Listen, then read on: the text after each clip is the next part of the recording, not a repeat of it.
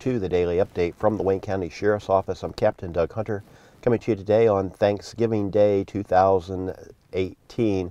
Just take a moment today to recognize the things that you do have to be thankful for. Certainly, if you have the ability to use a device to uh, watch a video such as this one, uh, your quality of life is better than that of many other individuals around here in Wayne County, as well as the nation and around the world for that matter. So give thanks for what you have because no matter uh, what your situation is, it could typically be worse.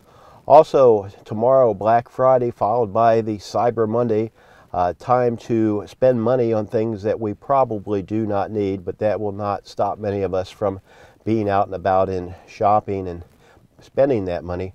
But uh, take a moment to make sure that the money that you spend results in items that you actually get to keep and keep them out of the hands of potential thieves.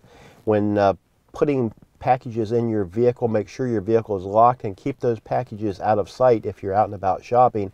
And if you're doing the bulk of your shopping online, of course, those packages will be delivered. I want to encourage you to consider having those packages delivered perhaps to your workplace or another location where the receiver of those packages will be there as opposed to those packages being left on a porch step someplace exposed to potential theft.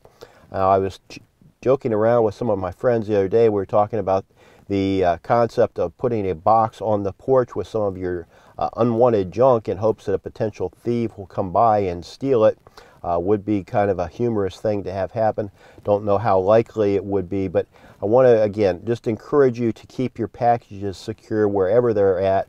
Always lock your vehicle, whether it's day or night. Uh, I've talked about this many times. People have a, a feeling that there's an invisible force field around their vehicle and uh, thieves will never penetrate it. But we see more than our share of thefts from unlocked vehicles.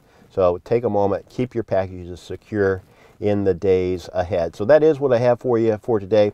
On behalf of Sheriff Travis Hutchinson and the entire staff of the Wayne County Sheriff's Office, I do want to wish you a happy Thanksgiving. And until next time, I remind you to think a little more of others and a little less of yourself. And things will be a whole lot better right here in Wayne County, Ohio.